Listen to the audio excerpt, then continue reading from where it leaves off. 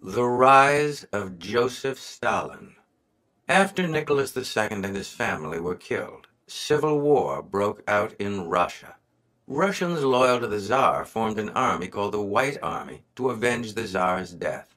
In return, the Communists organized their own army, the Red Army. For three years, civil war raged between the White Army and the Red Army. By 1922, the Red Army had won. A million and a half Russians who had supported the Tsar and the White Army, called White Russians, were forced to leave their country. Those who didn't leave were arrested, jailed, or executed. Now Russia was a totalitarian state, a country with only only one political party. Most countries have at least two political parties. The United States has Republicans and Democrats. In a country with more than one political party, the two parties argue with each other about how the country should be run. Usually the two sides have very different ideas. The people of the country listen to the arguments and decide which side has a better chance of making the country work.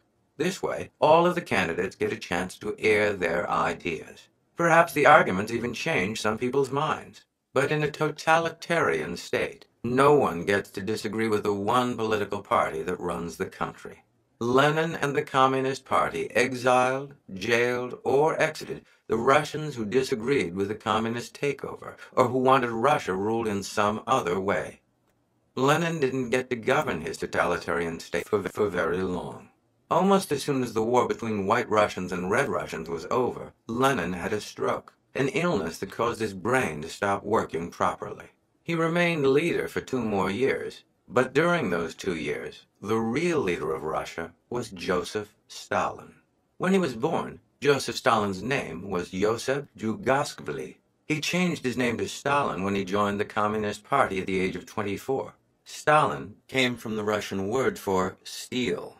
Joseph Stalin, the steel ruler of Russia, was as hard as metal and as cruel as a steel sword. When Lenin died, Joseph Stalin became Russia's undisputed leader. He ordered the city of Petrograd, once St. Petersburg, to be renamed Leningrad in honor of Lenin. Stalin also ordered Lenin's body put in a glass coffin so that Russians could come and look at him. Scientists took out Lenin's brain so that they could study it to find out why he was such a political genius. Then other scientists soaked the body in chemicals to preserve it. Today, Lenin's body is still in its glass coffin in the Moscow town square known as Red Square. Anyone who visits the square can see it. A 15 member committee has taken care of the body for the last 80 years. Every week, they check the body to make sure that it isn't beginning to disintegrate and put more chemicals on it. Every once in a while, they change Lenin's clothes. Under Joseph Stalin, two things happened to Communist Russia. The first was that Russia became the Union of Soviet Socialist Republics, or the USSR. Threatening war if they didn't join, Joseph Stalin told the countries that lay just at the western border of Russia, between Russia and Poland, that they had to become part of a new communist empire. Over the next 20 years, the USSR, or Soviet Union, would spread eastward and swallow five little countries in the center of Asia. It would also reach over to the Baltic and gulp up Estonia, Latvia, and Lithuania, countries that had been given their freedom after World War I by the Peace of Versailles.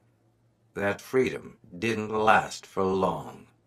The second thing that happened during the rule of Joseph Stalin is that millions of Russians died. Many were executed by Stalin, and many more starved to death. Stalin had his own ideas about how Russia should become great. Most of Russia was farmland, where peasants grew crops. But Stalin wanted Russia to have factories and mines like the wealthy Western nations. He wanted steel works that would make new rails for railroads that would go across Russia, and parts for electrical generators that would light up Russia's homes and streets. He ordered these new industries built, many of them in the icy wasteland of Siberia. And then he forced thousands and thousands of Russians to work in these factories, steelworks, and mines. If they didn't produce a certain amount of metal and goods, they were punished. He also ordered the peasants who still worked on farms to produce more food by working harder and planting more.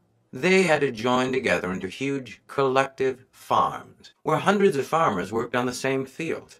Almost all of the food grown in these fields went into a common stockpile. In other words, most of it went to the government. The communist government was supposed to then hand it back out evenly to the people of Russia.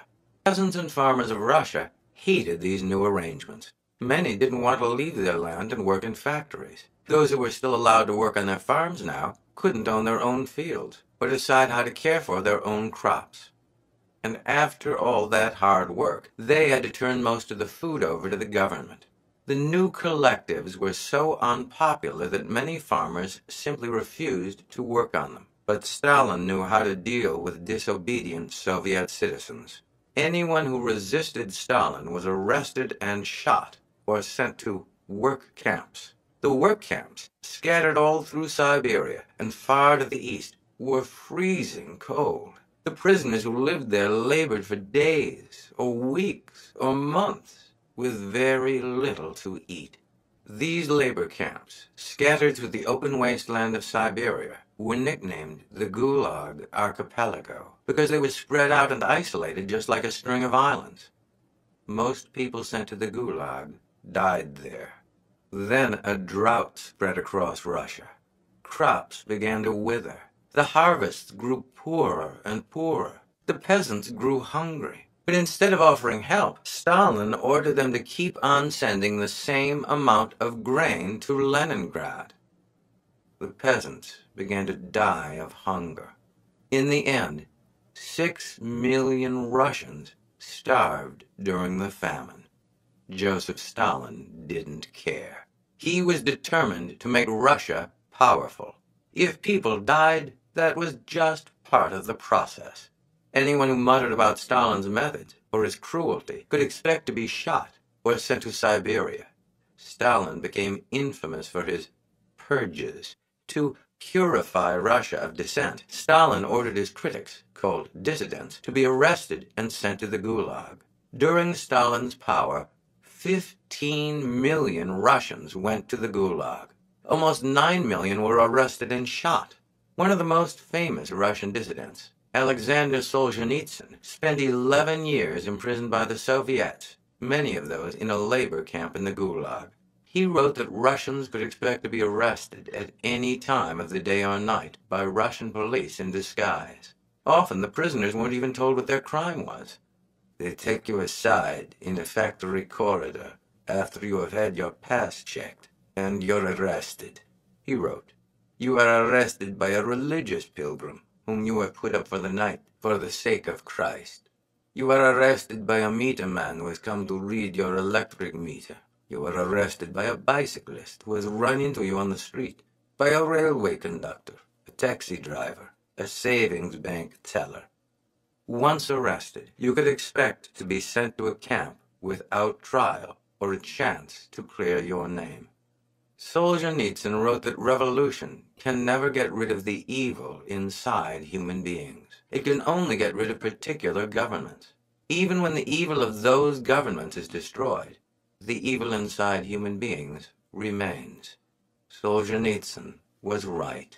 The communist government had been formed to get rid of tyranny. But Joseph Stalin, the leader of communist Russia, was as cruel, as tyrannical, and as evil as any Russian czar had ever been.